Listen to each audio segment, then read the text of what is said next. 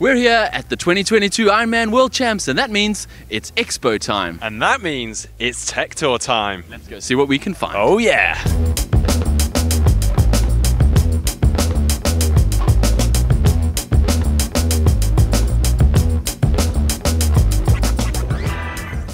Now, this might be the most talked about piece of new tech at Kona this year.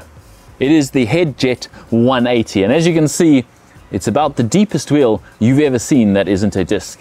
And that's because discs are not allowed at Kona, but deep wheels are allowed. So HED have taken it to the extreme with their 180 millimeter deep fairing on this wheel. And I say fairing because it's actually built on an aluminium rim uh, with this carbon fairing over it. Uh, the HED Jet 180 and technically it's not a disc wheel and you're going to see some of the top pros riding it. Uh, this is Leon Chevalier's, and it's actually got his name scribbled in permanent marker on there. Uh, it also has Steve and Anne Hed signatures on there, which is also a pretty cool touch. Yeah, it's a pretty nice wheel, and I imagine it's going to be pretty fast in those crosswinds, as close to a disc as you can get. Uh, if I was a pro and I wasn't riding this and I was riding my 80 or 90 millimeter deep rear wheel, I'd be pretty jealous of someone riding a 180.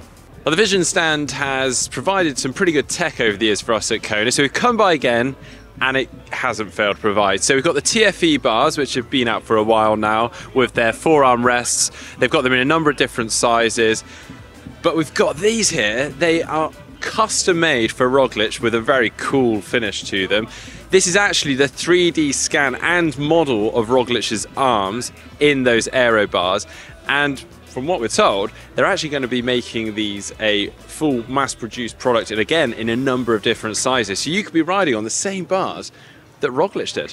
And also something else has caught my eye whilst I'm here at the Vision stand. Whilst it isn't particularly new, it's been out for a few years, we've got the Metron 4D Mass Road handlebars here. And the reason they've caught my eye is because they've got these little covers towards the middle of the handlebars and they're covering some little bolt holes. Now, if you take those covers out, you can then attach clip-on aero bars. Well, not clip-on because they attach directly to the handlebars. So you're turning standard road bar setup into suddenly a very aggressive and aerodynamic setup. In addition to that, with this particular setup, we've also got this updated Vision Metron Aero bottle too, which has got the computer mount extended out the front. Check it out. Okay, now we're here at the Hyperice stand with their Normatec, and as you can see behind me, a few people are comfortably getting their legs compressed by the Normatec 3, uh, which everyone's pretty familiar with, the Normatec boots, which uh, offer graduated compression, medical grade compression. Well, they have a new product, and it's this, the Normatec Go by Hyperice. Now, this is designed to be something that you can use on the go. Basically, you use it in your car, you can use it in the plane, and what it is, is a sleeve for just your calf or even just your quad. Uh, and it has graduated compression, which uh, they all have. It, ha- it pre-calibrates to your leg size, so you get that perfect compression. Uh, offers seven levels of compression and completely portable so the whole device attaches to your leg no wires or anything like that and you can use it on the go uh, the kind of thing you can use in a plane when you're traveling over to a race like this and you can't take your large Normatec boots with you it's basically a compression sock on steroids as you can see, there's someone behind me using it already, and that is uh, Mark. He looks way too comfortable. We've got a lot more work to do, so Mark, come on, mate, you can't sit there all day. Mark, wake up. You're just going to keep that thing on and wear it all day, walking around the expo. So we're here at the Ceramic Speed booth, and they don't actually have new tech. We've seen the OSPW Aero before. We saw it at St. George earlier this year, and it was released in June at Eurobike. But we've been uh, sneaking around the back, and we've actually found some really cool things here that we're not actually allowed to show you yet. The pros themselves haven't seen these special editions. So what we have is special OSPW Aeros with custom paint jobs. So there's one for uh, Lucy Charles-Barclay matches her fancy new Cube Aerium C68 uh, and it says Racing Girl is back, which is really cool. And then there's another one here which is even cooler, which is for Annie Haugsbach, and she hasn't even seen this yet, and it's got Hawaiian decor on it, if you can get a look at that. That is super cool. I'm going to put it back before someone sneakily takes a photo of it and, and spoils the party. And then there's another special edition one for, if you look at the flag, you can probably predict who that's for. Yep, Magnus Ditlev pretty cool. So these are going to go on the pros bikes in the next 24 to 36 hours before their race. Uh, the guys will be installing these and a pretty cool custom tech here at the Ceramic Speed booth. All right, I know James has found some pretty cool tech over there, but that's not all that Ceramic Speed are offering out here in Kona. Because if you wanted to get one of the OSPW jockey wheel aero systems installed on your bike out here in Kona, they're offering something really cool. So their aero cover has got a special graphic on there, which can be seen on some of the ceramic speed staff here. Uh, it's got a one of the flowers basically, but it's actually got the Kona Island in one of the petals, which is pretty neat. Also, within the price of getting that jockey wheel system, you also get a chain. And I've got to do this just because, I mean, we're starting to be a stand up. Thanks. Who was it better, eh? I think Can I have I'm a actually photo? looking smaller than Thanks, this. thanks. Well, now I'm done fanboying. Let's talk you through some of the stuff here on the Trimtex stand because we've got some exciting news. This suit that has been worn by Kristian Blummenfelt for the sub 7 attempt and obviously for his Ironman World Championship win in St George is now available for pre-order and we've got it here. It's the Insane suit. What separates this suit from so many of the others is its thermo-cooling properties. So they say that through the layup and just the makeup of this suit, they've managed to improve the cooling effect by 125%. Wow. It's also incredibly light. And of course, on some of these suits, you've got the turbulators on the top of the arms, uh, which you can see here. That helps to improve the airflow over the suit. And of course, as we've seen, it's been very, very successful with Kristian Blummenfelt. The top end of the price range is, of course, more for a custom fit. So Trimtex will work with you to find a perfectly fitting suit, full on custom. But we're not finished there. Oh no. Hey! We have our own GTN version of the Trimtex suit. What do you think, Mark? I love it. This is going to be available in the GTN store. Of course, we're going to be wearing this from now on. Maybe not for the rest of this video, unless you want For to. all the races that we do, we'll be wearing this from now on. Do we do races, Mark?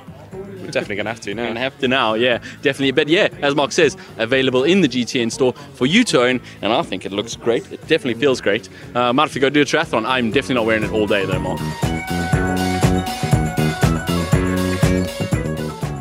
All right, another thing we've noticed here at the Tech Tour is uh, these Zipp 858 NSW. Now, we actually did a video on these recently. They're not actually releasing here, but they are the kind of the first time we've seen them out in the wild. And in fact, the Zipp Triathlon Academy, all six of their athletes will be riding the Zipp 858 NSW in Kona this weekend, uh, and they are pretty fast wheel. In fact, they may be the optimal wheel for the Kona course. Uh, just the right depth, just the right aerodynamics. Uh, they're a really nice wheel. And we can see the, those wheels here on Jan Frodeno's bike. Obviously, this bike we won't be seen out on the lava fields, unfortunately, this year. Jan obviously injured, uh, but we will be seeing the, these wheels on some other bikes out there this year. All right, I'm really excited about this, and you know it's pretty special when it's being camouflaged, don't you? This is specifically Florian Angert's bike. It's the Cube Aerium C68, and yeah, it's a new bike, specifically with disc brakes. But there are some additional features that are new on this bike. Now, this bike is actually first developed and in production in around 2015 or 2016 with the Raelert brothers. And it's a phenomenal bike. It hasn't actually changed masses over the years because it was so good way back then. But yeah, we've got disc brakes now. Rumour has it, it may have additional hydration that we can't currently see. We've got a large area down here, access on the other side. Maybe it's in frame hydration. Also, understand there may be some changes around the front end that make it a little bit more adjustable. I can also see two bolts up here, so I imagine a bento box behind this hydration system. But yeah, we'll just have to see on race day. Whoa, stop there. Now, just after filming with Florian's bike there with the camouflage paint, which also Lucy has been riding on, we've been presented with this. Now, this is the actual bike that Lucy's going to be riding on for the Ironman World Championships with a slightly different paintwork. and a blooming nice paintwork if you ask me. It's a chrome pink finish with glitter in there. They've also sort of outlined the contours and the edges, which looks amazing in my opinion. But I can confirm now, and you can see it yourselves quite easily, we've got a straw here and a straw here, meaning that we've got the straw going down the down tube here with a bladder down here in this storage area here by the bottom bracket. It's around 750 mil in this particular frame size down here. We've also got 750 mil in the front hydration there. You can also see obviously she's got two bottle cages on the back there. So there is ample hydration storage on this bike. Um, but yeah, really nice bike. But do stay tuned because we're doing a full pro bike feature, which you'll be seeing on this channel very soon. All right, we come by the Hunt stand now, and we got some brand spanking new wheels just released last week. We've got some 48 mil depth wheels and some 60 mil depth wheels, and these are part of the Limitless range, and they are insanely light, in part due to their carbon spokes, but also they've got a channel cut out through the widest part of the rim, and that's filled with polymer just to help with the structure and the shaping of the wheels. But I can confirm, even the 60 mil, that is insanely light.